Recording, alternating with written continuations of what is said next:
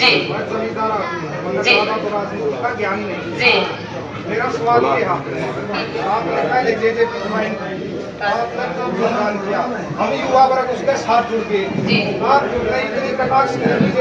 एक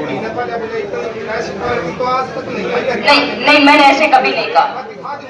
आप बेशक देख लीजिए मैंने कभी किसी पार्टी का विरोध नहीं किया